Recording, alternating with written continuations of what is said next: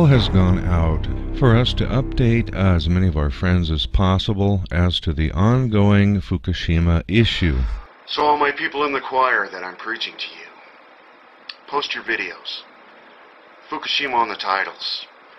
Help out Kevin Blanch and let him know that you're pissed off too. And uh, we need to get a hold of this situation. And if that means getting all of our nuclear debris here in the United States into Yucca Mountain, uh, where we've spent billions and billions of dollars over the last few decades um, to develop this site. And the continued threat, which uh, over a year and a half later has lessened in uh, no way whatsoever.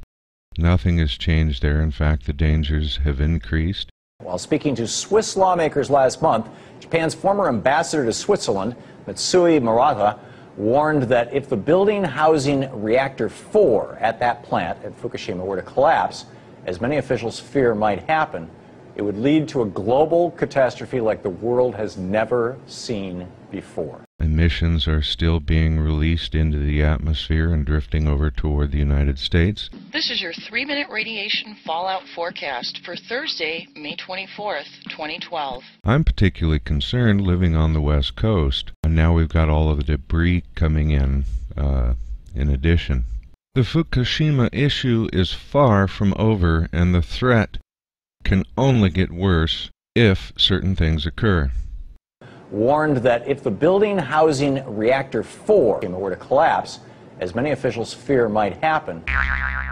While the mainstream media fails to report much on this, but all these weeks later, the crisis is far from over. The crippled Fukushima nuclear plant is still leaking.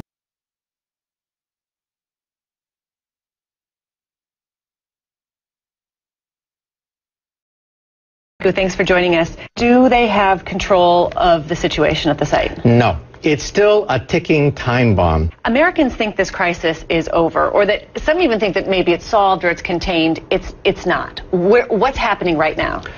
In the last two weeks, everything we knew about that accident has been turned upside down. We were told three partial meltdowns, don't worry about it. Now we know it was 100% core melt in all three reactors. The uh, YouTube alternatives continue to put out reliable and believable information. To explode at its leaders. In the news, residents block radioactive debris delivery. Only two towns support restart of Oi nuclear power plant. Acceptance has failed. Actor says help from outside the country is needed. This message has been brought to you by Radchick and the Orion Talk Radio Network. We care about you because your government doesn't. Stay safe and listen to Nuked Radio on Tuesdays and Thursdays from noon to 1 Eastern Standard Time to get up to speed on Fukushima and all things nuclear. Okay, now it's time to talk about rain. I believe it was Dr. Caldicott who said one of the reasons people aren't as concerned as they should be about this is that they look up in the sky and they don't see anything, they don't smell anything, they assume everything's fine and they forget about it.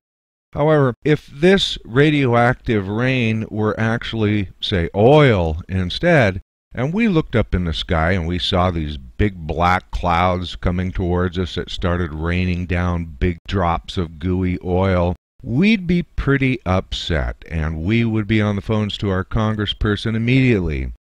Now, what we're actually getting in terms of radiation is 10 times worse than mere oil.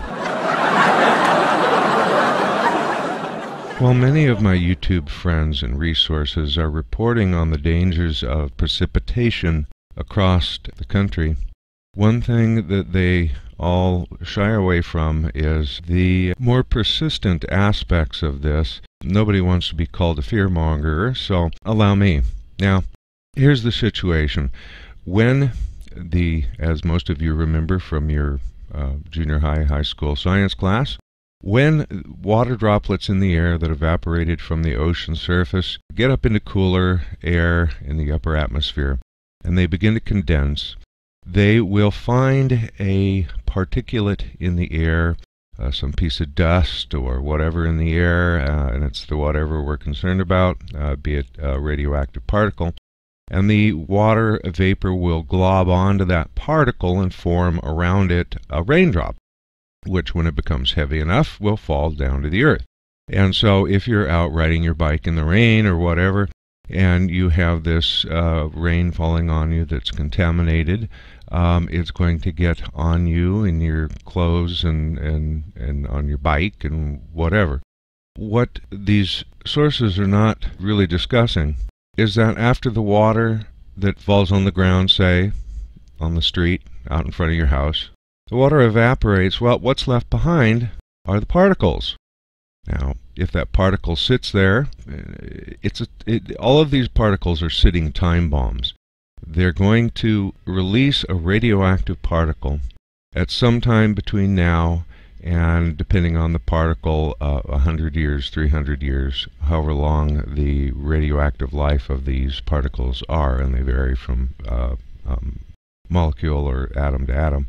Now, when you fission uranium, 200 new elements are formed, all of which are much more poisonous to the body than the original uranium. Although uranium's pretty poisonous, America used it in Fallujah and Baghdad, and in Fallujah, 80% of the babies being born are grossly deformed. They're being born without brains, single eyes, no arms.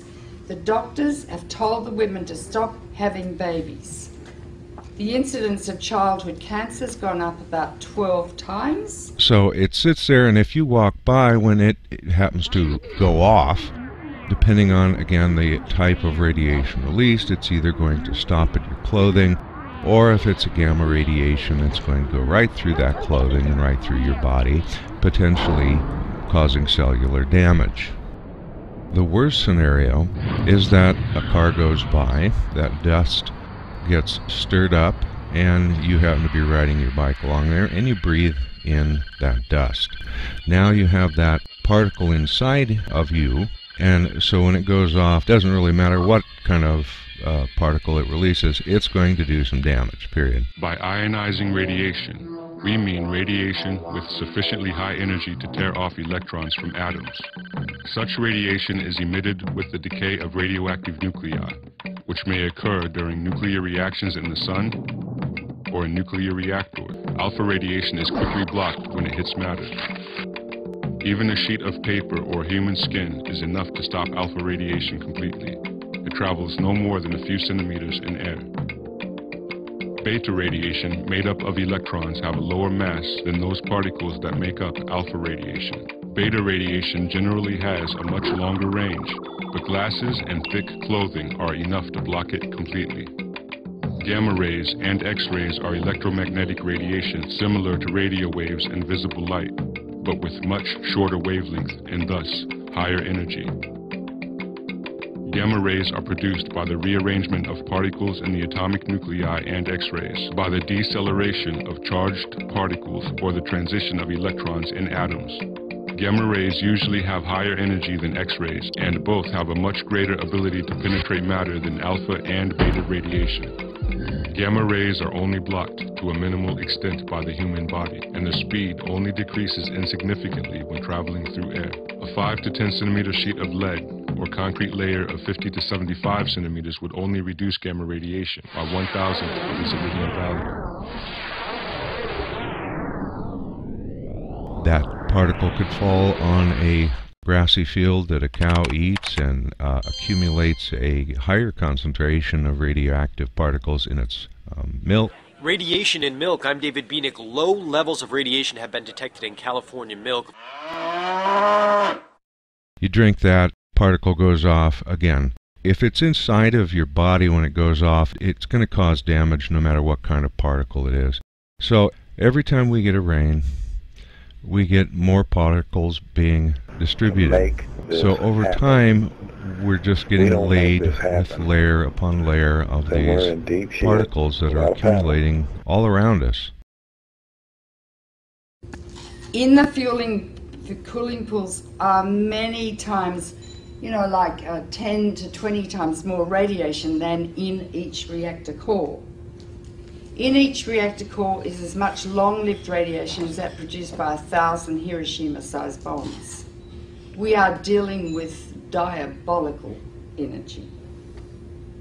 E equals mc squared. It's the energy that blows up nuclear bombs.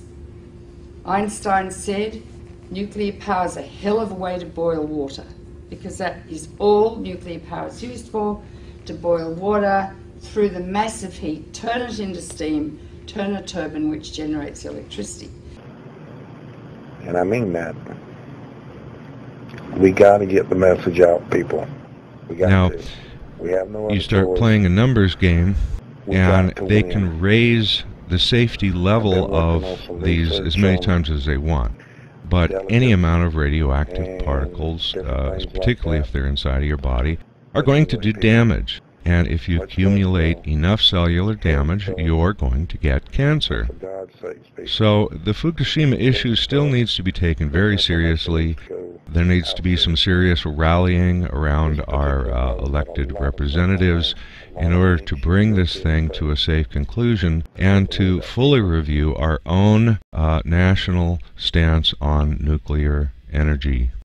Thank you. The, ocean, the oceanic contamination is obviously out of hand. Senator Wyden was not allowed near reactor number one, hence he has no comments or knowledge of the situation. Although I think of him as attempting to wake up the masses, I feel it is time you all woke up to the China syndrome occurring all year.